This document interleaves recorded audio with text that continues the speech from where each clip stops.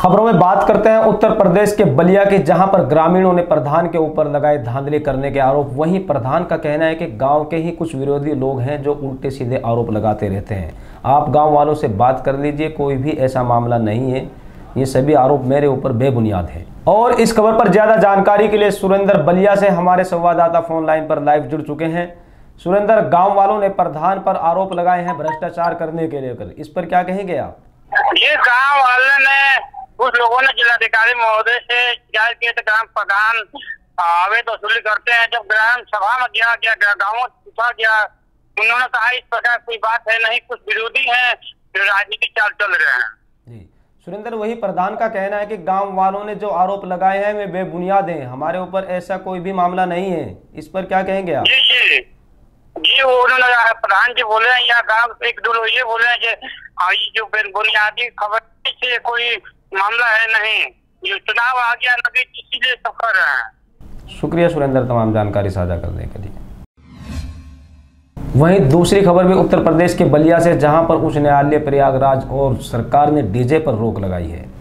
और इस खबर पर भी ज़्यादा जानकारी के लिए सुरेंद्र का रुख करते हैं। सुरेंद्र उच्च न्यायालय प्रयागराज और सरकार ने डीजे पर रोक लगाई है। इस पर क्या कहेंगे आप? जी उत्तर प्रदेश हाईकोर्ट के निर्देशन डीजे पर रोक लगी है जिसको लाखों लोग इसमें बेरोजगार हो गए हैं। तो जो। सांस्कृतिक कार्यक्रम करते हैं उनका ये कहना है कथन हम डीजे से कोई मतलब है सम्मान करते हैं परंतु हम एक सांस्कृतिक कार्यक्रम करते हैं इसकी अनुमति दी जाए जिसे पुलिस हमको परेशान करती है। जी। सुरेंद्र भाई डीजे वालों ने आरोप लगाया कि सरकार हमारी रोजी रोटी के साथ खिलवाड़ कर रही है। इस पर क्या कहेंगे आप? ये लोग कह रहे हैं भाई हम इस मामले को लेकर सुप्रीम कोर्ट तक तो जाएँगे, हाई कोर्ट भी जाएँगे परंतु हम पीछे नहीं हटेंगे। शुक्रिया सुरेंद्र, तमाम जानकारी साझा करने के लिए। सिद्धार्थनगर ज़िले के करौंदा मसीना में शिक्षा मंत्री का जोरदार स्वागत हुआ। और वहीं इस खबर पर ज़्यादा जानकारी के लिए अभय तिवारी सिद्धार्थनगर से हमारे साथ फ़ोन लाइन पर लाइव जुड़ चुके हैं। अभय तिवारी जी, गाँव वालों ने समस्याओं को लेकर शिक्षा मंत्री से खास बातचीत की है। शिक्षा मंत्री जी ने गाँव की समस्याओं को लेकर क्या कुछ कहा? इस पर क्या कहेंगे आप? जी सर वो अंग्रेज़ी माध्यम का विद्यालय था मसीना करौंदा में वहाँ पे उनके प्रथम आगमन पे लोगों ने जोरदार स्वागत किया। जी। अभय तिवारी जी गाँव वाले लोगों ने समस्याओं को लेकर शिक्षा मंत्री से बात की है। तो शिक्षा मंत्री क्या कुछ कहते नज़र आए हैं गाँव की समस्याओं को लेकर? सर उन्होंने यही कहा है कि हमारी सरकार जो है हर उस पर ध्यान दे रही है और सभी की बहुत जल्दी समस्याएँ दूर हो जाएँगी। और हम लोग पूरे प्रयास में है मेरी सरकार पूरे प्रयास में शुक्रिया अभय तिवारी तमाम जानकारी साझा करने के लिए। उत्तर प्रदेश के गढ़ मुक्तेश्वर में सड़क हादसे रुकने का नाम नहीं ले रहे हैं। आए दिन सड़क दुर्घटनाएँ हो रही हैं और लोग अपनी जान गंवा रहे हैं। और इस खबर पर ज़्यादा जानकारी के लिए असजद चौधरी फ़ोन लाइन पर हमारे साथ लाइव जुड़ चुके हैं। असजद आए दिन बड़े हादसे होते रहते हैं सड़क पर। क्यों नहीं? सरकार इस ओर ध्यान दे रही है। इस पर क्या कहेंगे आप? जी जी। ये यातायात वहाँ भी चलाया जाता है यातायात रोकने के लिए बड़े बड़े दावे भी ठोके जाते हैं, लेकिन यातायात का कोई भी नियम अभी अनुसार के हिसाब से, जो नियम अनुसार है, उसका पालन नहीं किया जाता। जैसा कि आज घटना हुई है, और ये अभी इन तीन दिन के अंदर हापुड़ जनपद के अंदर लगातार सात या आठ घटनाएँ हुई हैं, जिसमें नौ से दस लोगों को जान गंवानी पड़ी है। और ये राज्य तीन का हादसा हुआ ये ऑटो चालक इतनी बुरी तरह गाड़ियाँ भगाते हैं कि ये सामने वाले को कुछ नहीं देख पाते। इनका पुलिस पर कोई शिकंजा नहीं कर पा रही है जी। अशजद क्या कारण है कि हर रोज गढ़ मुक्तेश्वर हाईवे पर सड़क दुर्घटना हो रही है और लोग अपनी जान गंवा रहे हैं? सबसे पहली बात तो ये थी पहले यहाँ पर ट्रैफ़िक पुलिस तैनात रहती थी अब यहाँ पर ट्रैफ़िक पुलिस की तैनाती खत्म कर दी है। जिसके कारण ये ऑटो चालक और ये जो वैसे वाहन है ये स्पीड ओवर स्पीड चल रहे हैं। इनको कोई देखने वाला है नहीं। अर्षद अगर आपने वही प्रशासनिक अधिकारियों से बात की हो तो वो क्या कुछ कहते नज़र आए हैं? मेरी क्षेत्राधिकारी गढ़ से बात हुई थी तो उन्होंने कहा था कि हम प्रयास कर प्रयास करते हैं और लेटर भी लिखेंगे और क्या कहते हैं ट्रैफ़िक पुलिस की तैनाती के लिए सिर्फ़ जो नियम है उसको हम फॉलो करेंगे। जी। शुक्रिया अर्षद तमाम जानकारी साझा करने के लिए। मेरठ के गुमी गाँव में बाबा आसाराम के आश्रम पर हुआ एक बड़ा हमला और इस पूरे मामले में ज़्यादा जानकारी के लिए अरुण कुमार मेरठ से फ़ोन लाइन पर जुड़ चुके हैं। अरुण, क्या है पूरा मामला? आसाराम के आश्रम पर हुआ हमला। इस पर क्या कहेंगे आप? ये जो आसाराम बापू का जो आश्रम है, इसमें सर, अब पुरुषों की जगह महिलाओं का आश्रम बन चुका है और यहाँ पर कुछ हमलावरों ने आकर स्विफ्ट गाड़ी में आकर हमला बोला और कहा जल्दी से ये आश्रम खाली कर दो यहाँ से आपको खाली करना पड़ेगा क्योंकि ये ज़मीन हमारी है। जी अरुण पुलिस क्या कुछ कार्रवाई करती नज़र आई है इस पूरे मामले को लेकर? सर इसमें पुलिस ने अभी तक कोई भी कार्रवाई नहीं की है ना ही और इसमें कोई गिरफ्तारी हो पाई है सर। और उसमें महिलाओं का कहना है कि हम यहाँ पर सुरक्षित नहीं है। अगर बाबा कहे तो हम तुरंत आश्रम को खाली कर देंगे। लेकिन दबंगाई लो, दबंग लोगों के कहने के बावजूद हम आश्रम नहीं खाली करेंगे। चाहे हमें मरना पड़े। जी। शुक्रिया अरुण तमाम जानकारी साझा करने के लिए। वहीं खबरों में बात करते हैं हरदोई की, जहाँ पर पुलिस विभाग का नाम ऊँचा करने वाले थाना अध्यक्ष ने कुछ ऐसा कर दिखाया जिससे लगता है इंसानियत आज भी ज़िंदा है लोगों के दिलों में। और इस पूरे मामले पर ज़्यादा जानकारी के लिए हरदोई से प्रमोद कुमार हमारे साथ फ़ोन लाइन पर लाइव जुड़ चुके हैं। प्रमोद, थाना अध्यक्ष ने बुज़ुर्ग महिला की मदद की है। इस पर क्या कहेंगे आप? जी, सर, बिल्कुल। जिस तरह जनपद हरदोई में थाना अध्यक्ष पाली बीरेन्द्र सिंह तोमर ने गरीब विधवा महिला की आर्थिक सहायता की है अगर इस संभव की सराहना पूरे जनपद में की जा रही है तो। जी प्रमोद अगर आपने ग्राम प्रधान से बातचीत की हो तो ग्राम प्रधान ने बुज़ुर्ग महिला की मदद क्यों नहीं की है? इस पर क्या कहेंगे? सर इस तरह से प्रधान भारत सरकार की तरफ़ से प्रधानमंत्री की तरफ़ प्रधानमंत्री आवास योजना की आवास चल रही है, लेकिन इस तरह प्रधान ने कोई ध्यान नहीं दिया। अपने ग्राम सभा में जिस तरह से तो इस आवास झोपड़ी डालकर रह रही है, इसकी मदद करने के लिए पूर्व कोई गिर में तैयार नहीं था। इस जानकारी होते हुए थाना अध्यक्ष बीएन सिंह मौके पर पहुँच गए। हर संभव मदद के लिए तैयार हुए सर।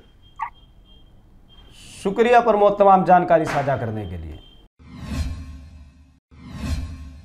खबर महुआ के खरोला थाना क्षेत्र के एचनी की है, जहाँ राम जीवन के यहाँ कुआ पूजन का कार्यक्रम चल रहा था, तभी गाँव के दो दबंग हथियारों से लेस होकर वहाँ पहुँचे और फायरिंग शुरू कर दी।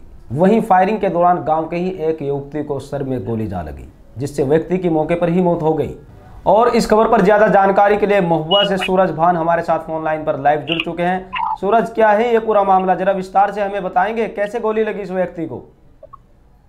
हाँ मैं बताना चाहूँगा कि खेला के अंतर्गत जो ये घटना हुई है इस चीज़ पे एक कुआ पूजन का कार्यक्रम था जिसमें गया व्यक्ति पर गोली चलाई गई है। जी सूरज अगर आपने वही पीड़ितों से बात की हो तो वो क्या कुछ कहते नज़र आए हैं इस पूरे मामले को लेकर? हाँ वहाँ मैंने बात की तो वहाँ पे बताया जा रहा है कि आपसी रंजस की वजह से ये हादसा हुआ है। जी। अभी हालाँकि इतना खुलासा नहीं हुआ है। जी। सूरज अगर आपने वही पुलिस अधिकारियों से बात की हो तो पुलिस अधिकारी क्या कुछ कहते नज़र आए इस घटना को लेकर? इस घटना को लेकर हमने अधिकारियों से बातचीत की। अधिकारियों का ये कहना है कि इसे 24 घंटे के अंदर अरेस्ट कर लिया जाएगा। जी। शुक्रिया सूरज तमाम जानकारी साझा करने के लिए। वहीं खबरों में बात करते हैं महुआ के जहाँ ज़िले के पनवाड़ी थाना परिसर में शनिवार को थाना दिवस आयोजित किया गया जिसमें पुलिस व प्रशासनिक अधिकारियों ने जन शिकायतों की सुनवाई की। और इस खबर पर ज़्यादा जानकारी के लिए सूरज भान महुआ से हमारे साथ फ़ोन लाइन पर लाइव जुड़ चुके हैं। सूरज, थाना दिवस में विकासखंड पनवाड़ी के चौसठ गाँव की कितनी शिकायतें दर्ज की गई? इस पर क्या कहेंगे आप? हाँ सर, मैं इसमें कहना चाहूँगा कि जो शिकायतें ये दर्ज की गई हैं लेखपाल से संबंधित, तहसील से संबंधित शिकायतें, जिन पे कोई भी समस्या, किसानों की समस्या, तमाम समस्याओं की हैं, ये सब जम किया गया जबकि हमारे सीओ साहब भी यहाँ पे मौजूद में सब अधिकारी मौजूद रहे तो उन्होंने आश्वासन दिया है, शिकायतें तो इतनी कमियाँ नज़र आई हमारे अधिकारियों की, लेखपाल की और सभी की, सचिव सचिव से लेकर हर चीज़ तो उन पे कहा गया अधिकारियों की जल्द से जल्द इस पे कार्रवाई की जाएगी। जी। सूरज थाना दिवस में कितनी शिकायतों का समाधान हुआ है? हाँ सर अभी तो इस चीज़ पे मैं कहूँगा कि अभी तो कोई शिकायत का समाधान नहीं हुआ। जी। हाँ और इस पे आश्वासन दिया गया। हमारे अधिकारियों ने दूसरे अधिकारियों को हमारे जो बड़े लेवल के अधिकारी उन्होंने छोटों से कहा है सचिवों से कहा है सबसे कहा है कि इस पे जल्द से जल्द इसका संशोधन लाइए इसका निष्कर्ष निकालिए और इन पे कार्रवाई करिए। जी। शुक्रिया सूरज तमाम जानकारी साझा करने के लिए। वहीं खबरों में बात करते हैं उत्तर प्रदेश के रामपुर के, जहाँ पर एक मुस्लिम परिवार माता रानी की चुनरी बनाकर अपने परिवार का जीवन ही नहीं, बल्कि अपने ज़िले के 500 मुस्लिम परिवार और 200 हिंदू परिवारों को रोज़गार देकर अपना कारोबार को आगे बढ़ा रहा है। उसे अब सरकार से उम्मीद है कि अगर सरकार उनके कार्यों को और बेहतर बनाने के लिए उनको किसी योजना का लाभ दे दे तो उनका कारोबार और भी बढ़िया चलेगा। और इस खबर पर ज़्यादा जानकारी के लिए सुरेश कुमार टांडा से हमारे साथ फ़ोन लाइन पर लाइव जुड़ चुके हैं। सुरेश, क्या इनका ये खानदानी कारोबार है? इस पर क्या कहेंगे आप? हाँ सर ये इनका खानदानी कारोबार है और ये बहुत समय से जो मोहम्मद कासिम है काफ़ी समय से इस कारोबार को कर रहे हैं और उनके बेटे भी इस कारोबार को कर रहे हैं। मोहम्मद आसिम ने बताया जैसे कि, 45 वर्षों से इस कारोबार को कर रहे हैं और उनके साथ कम से कम 500 मुस्लिम परिवार जुड़े हैं और 200 हिंदू परिवार जुड़े हैं। हमने खुद भी वहाँ जाकर के देखा तो वहाँ पर एक हिंदू बहन बैठी हुई थी और एक हिंदू लड़का बैठा हुआ था जो की इस काम को कर रहे थे और वो ये भी बता रहे थे कि हमारे जो घर में घर के लिए भी चुंदिया देते हैं, ताकि जो चुंदिया हैं वहाँ पर पूर्ण तरीके से सिल करके फिर यहाँ पर पहुँचाई जाती हैं और फिर ये इनको इकट्ठा करके यहाँ से सप्लाई आगे के लिए करते हैं, सर। सुरेश ये चुंदरी को तैयार करके कहाँ कहाँ सप्लाई करते हैं और उनके यहाँ कुल कितने लोग काम करते हैं?